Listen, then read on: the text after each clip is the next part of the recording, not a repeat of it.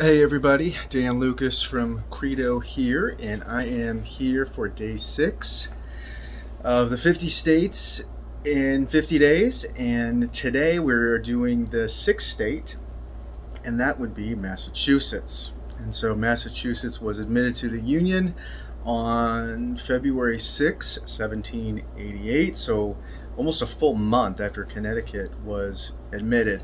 Um, I don't know why it, it kind of slowed down after a while. It seemed like they were really going fast with admitting these states to the Union, and then all of a sudden it kind of slowed down. So I'm not sure if anybody knows. Please put that in the comments below. I'd be kind of curious to know why they kind of slowed down as kind of time went on as far as admitting states to the Union.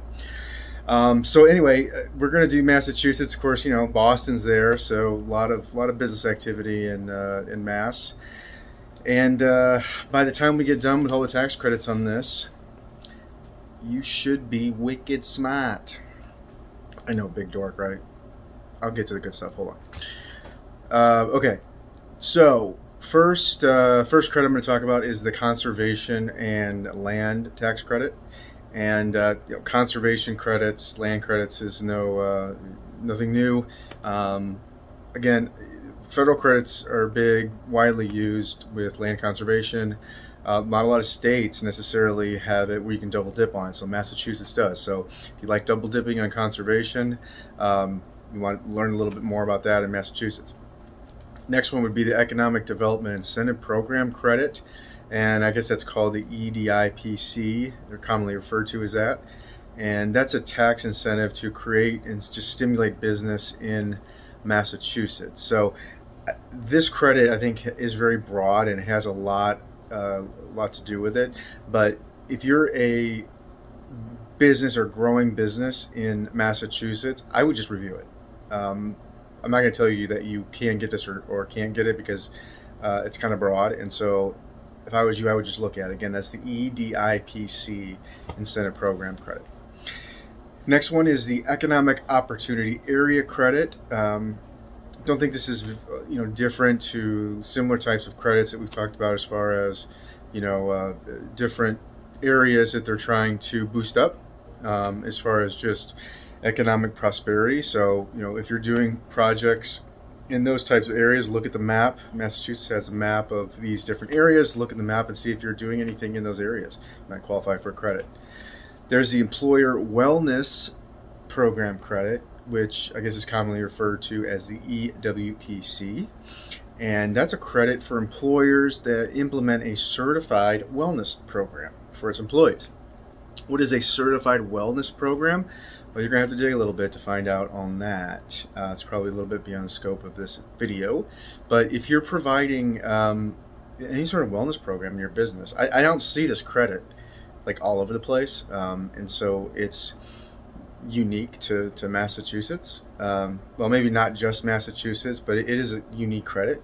So I don't see this a lot of places. So obviously, it's a good thing. I mean, they're trying to uh, promote you know wellness uh, for people. So if you're doing anything in that area, look at it. And a lot of times, some of these credits that are for wellness, um, you know, th- these things that are uh, more about people right helping people and that they can be a little bit more liberal and a little bit more uh, loose as far as getting those credits and they're kind of generous with them. So, you know, if you think that you're doing something in your business to improve wellness of your people, look at it because um, it might be a pretty easy credit to get.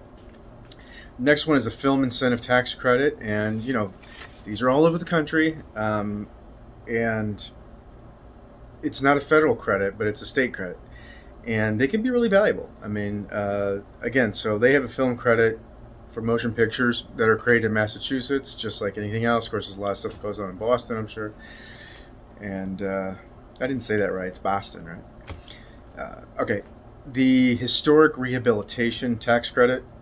Again, we just talked about this with like Connecticut, and you're going to see a lot of this kind of stuff going on, like just the 13 colonies and stuff, or the original 13 colonies, is to rehabilitate historic structures, landmarks, et cetera, et cetera. If you've done anything in that area, or if, you, if you've invested in anything in that area, or in real estate partnerships in that area, make sure they're getting these credits.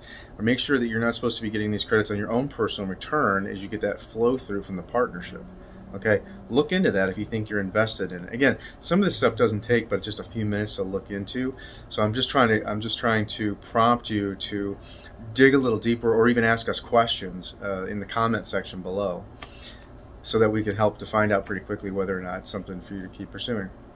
All right, we have the low income housing tax credit, commonly referred to as LIHTC and it's available to individual taxpayers, partnerships, and corporations that invest in qualified low income housing projects in Massachusetts. So, something in that area rings a bell, something you want to look into. Um, those are not necessarily uh, totally common, but they're not uncommon either. Okay, and they used to have, I think, a lot more states used to have a lot more generous programs in that area. And after the opportunity zones started to become more popular, they pulled back a little bit on it. But anyway, um, that's something that you know you should look into if you're in that area. Uh, research credit, so the R and D credit. When we talked about the R and D credit before, um, again, this is can be a very lucrative credit, and it's both federal and if you're in Massachusetts, it's federal and state, so you can double dip on it.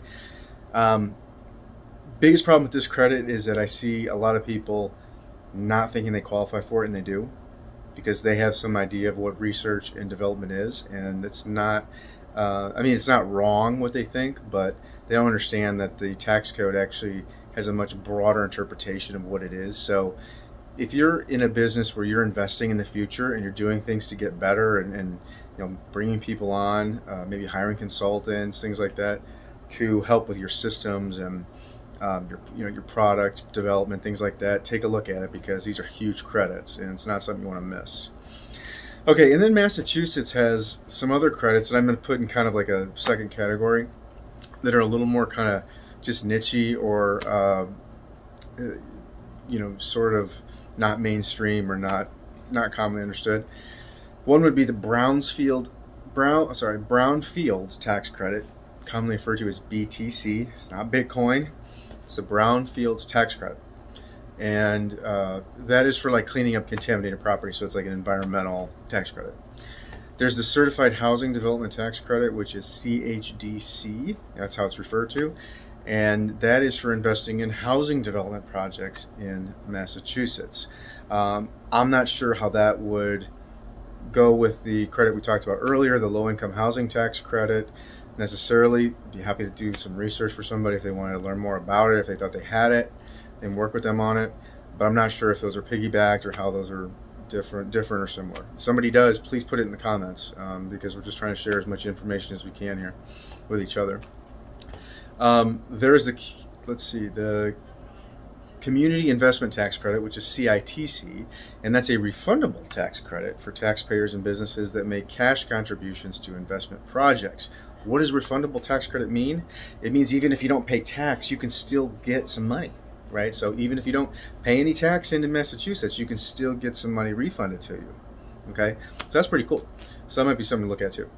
Um, of course, if you think you qualify for it. They have the dairy farmer tax credit. Definitely don't see this one as, as a common credit. Um, and all it says on their site is learn about a tax credit available to Massachusetts dairy farmers. If you're a dairy farmer, my advice would be look into it. If you're not, ignore it.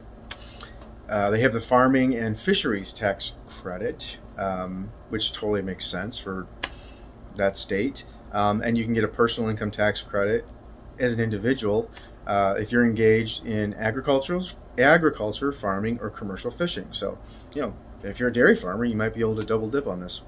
Um, but if you're in the fishing business, uh, farming, any type of agriculture, anything like that, something you want to look at. And, and it's a personal credit too, so I don't think you have to be a business necessarily. You probably just have to be a, like a 1099, um, or yeah, just kind of like a self-employed or, or kind of a one-man operation, or woman. All right, we have the Harbor Maintenance Tax Credit, referred to as HMT, uh, and this this is a credit for taxpayers who paid the federal harbor maintenance tax. Doesn't say anything about how you get a credit on that, but if you're paying that federal harbor maintenance tax, you're gonna want to look at this. The, they have one that's just called the investment tax credit. It says you can earn the credit for the purchase or lease of qualifying tangible property. Learn if you qualify. I think that that is more about um, like fixed assets. Um, so you know, if you're like like a um, a lot of times these are double dips too. I mean, the, you can get uh, federal tax credits for machinery and equipment, things like that. But it looks like Massachusetts already gives you another one. So if you're investing in machinery, fixed assets, vehicles, things like that, uh, look into the investment tax credit would be my advice. Okay, another one is called the Life Sciences Tax Credit, and it says that there are five tax credits and incentives available to certified life science companies. So if you're a life science company, it's something you want to dig into. Again, we're based on request basis, we're happy to uh, uh, help dig into that a little bit. Um, got two more.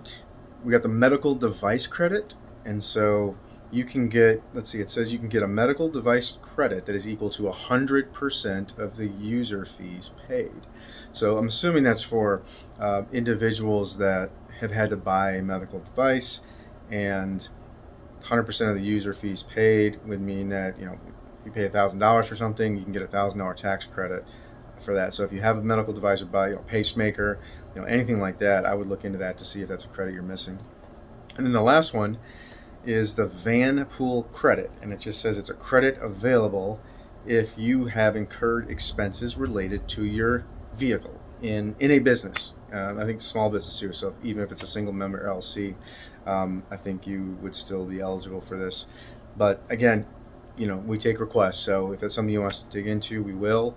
Um, purpose of this is just to get these out there and get you thinking to see if you think there's something you might be missing. Uh, because again, the big, the big, problem is that most people just don't know about these at all, um, especially on the state level. They kind of stay uh, stay more hidden, but they can be quite valuable. And you know, you can put tens of thousands of dollars back in your pocket um, just by having a little bit of knowledge and uh, uh a little bit of know-how. So. Um, that's it for Massachusetts. I apologize for all the bad jokes and the pathetic attempts at a Boston accent. Um, but uh, I don't know. Um, you know, uh, it's a great state. I've been there a lot of times. Uh, I used to go there in the fall uh, before I had a lot of kids and stuff. And we had four. I have four boys now, but before I had kids, we used to go to Salem in the in the fall, uh, Salem, Massachusetts, and just the, the Halloween festivals and all the fun stuff there. It was really awesome. It's just a really really beautiful state. Um, lots to do up there. Beautiful state. A lot of the coastal thing. Cape Cod is beautiful. Boston's an awesome city, a lot of history. Um, so, highly recommend you uh, take a look at that. But I'm not advertising for travel. So, those are the tax credits for Massachusetts. And um, I look forward to sending out the video tomorrow. And tomorrow, we're going to talk about Maryland. Okay, that was the seventh state admitted to the Union. So, until then, have a good night and thank you very much. Bye bye.